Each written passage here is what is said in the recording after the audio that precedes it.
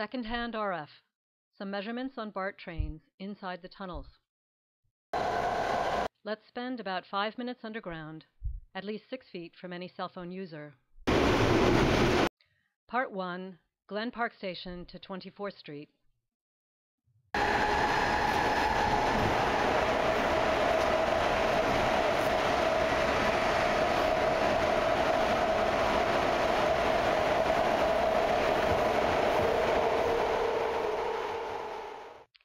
I've measured RF in BART trains many times, and these levels are typical. In a crowded rush hour train, the levels can exceed 500 on the display, equivalent to 50 microwatts per square centimeter. In order to have cell phone service underground, BART installed repeater antennas in the tunnels. The antennas themselves, as well as each individual phone, emit RF. The recent cell phone right to know ordinance passed by the San Francisco Board of Supervisors says avoid using cell phones in areas with weak signals, such as elevators or on transit. A cell phone uses more power in a BART train in order to transmit. More power means more RF. Welcome to 24th Street Mission Station. The next station, 24th Street Mission.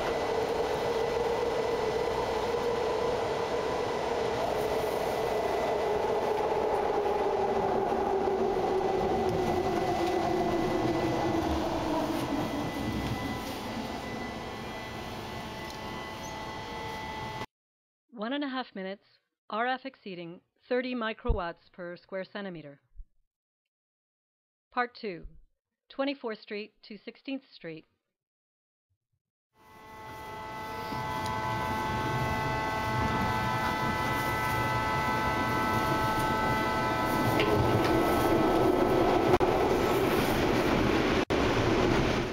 Any metal enclosure will intensify levels of radio frequency radiation. The energy cannot pass through the metal walls of the car. Inside a BART train, the RF energy bounces around, meaning that even a passenger not using a phone is exposed to significant amounts.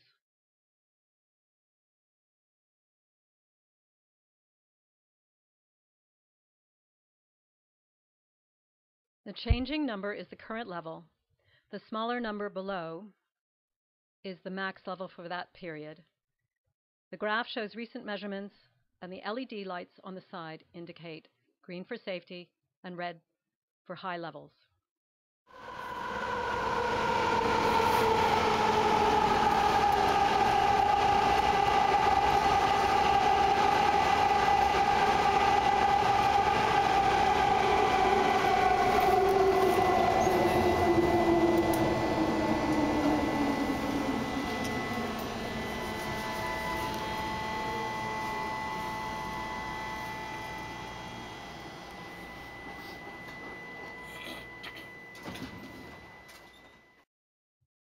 About a minute and a half, RF levels exceeding 15 microwatts per square centimeter. Part 3, 16th Street to Civic Center.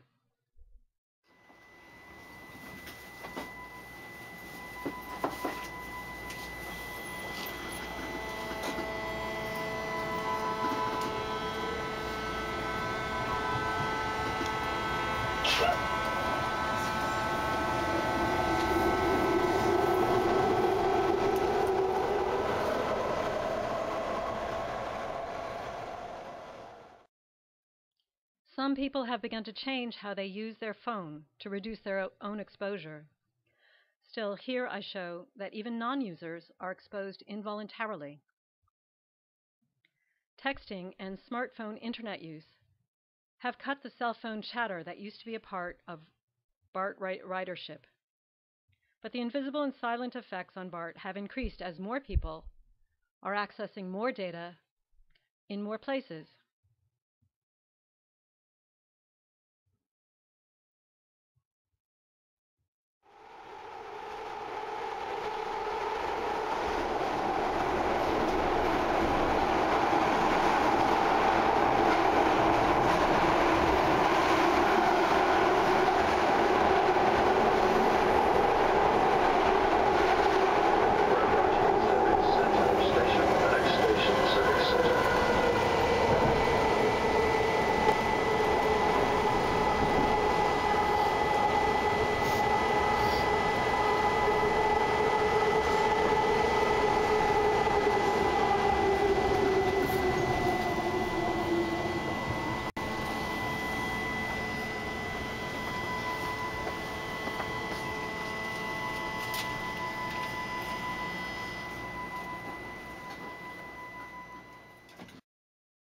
About two minutes.